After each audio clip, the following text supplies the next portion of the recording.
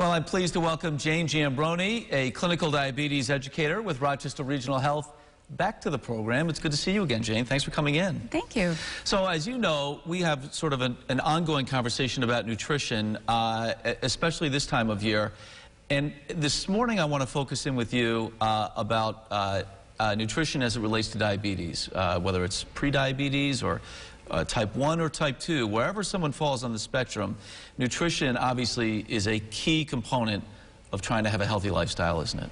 Absolutely. And one of the first questions I always get is, I have diabetes, what do I eat? Mm -hmm. That is the very common question. And it's not a special diet, it's basically healthy eating, having your nutrients. And so what that means is making sure you have your fruit, your vegetables, and I recommend a heart healthy diet, uh, having nuts, raw nuts, at least once a day, uh, cutting down on meat and sugars. And did you know, Mark, that 74% of all processed food has sugar in it? And we talk about losing weight as well as an important component of yes, this. Yes. And not just controlling blood sugar, correct. but making sure we're eating healthy foods, right? Yes, that is correct. And eating healthy foods is one thing, and by eating healthy, weight loss will come. Mm -hmm. So what I do recommend is doing simple things. If, for example, you drink soda every, every single day, regular soda, to cut back on the soda, to have soda maybe um, every other day, or to eliminate it completely if you could get to that point. There are other action steps people can take as well, uh, and working your way up to really addressing the underlying issue.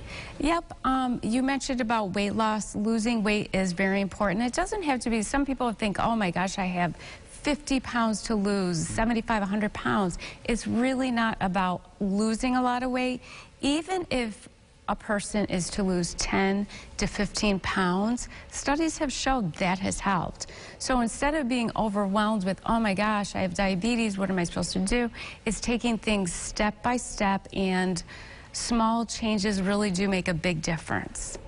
And if people want to go one step further, there's a phone number you yes. would recommend they call. Yes. To yes. let somebody connect with them, understand their situation, and then get them hooked up with the right program. Yes, thank you diabetes, it's important to have support. And we do have support at um, Rochester Regional Health. There's a number that can be called. It's 585 368 4560. And uh, when you call that number, you can schedule an appointment with a registered dietitian one to one. We also have classes. We have plant based cooking classes, uh, living well with diabetes series, and we also have pre-diabetes classes. Great. Uh, we will leave it there. Our time is short, but as always, we thank you for coming in and sharing you, your insight on this all-important topic of nutrition. Thanks, Jane. Thank you. So uh, you heard that phone number. Uh, if you missed it, any of our conversation, as always, we're sharing it online. You'll find it posted at rochesterfirst.com.